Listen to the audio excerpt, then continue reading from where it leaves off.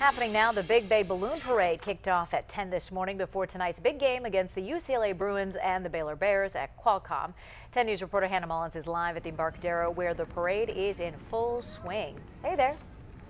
And we are at the start of the parade. The last of the floats have just left down that way. Now we just saw a gingerbread man and a giant Wienerschnitzel hot dog along with Mr. Potato Head. You can see all the crowds at the start are now leaving. We do want to give you a live look though from Sky 10 because this is what they're calling America's largest parade. Now it's hard to believe it's bigger than the Macy's Day Parade, but that's because there are 24 balloons all lined up on these streets. It's just an incredible sight to see. Fans from UCLA and Baylor are both out here these streets are packed with an estimated 100,000 people, and of course, they brought their wallets. Last year, the Holiday and Poinsettia Bowl games pumped about 26 million bucks into the local economy.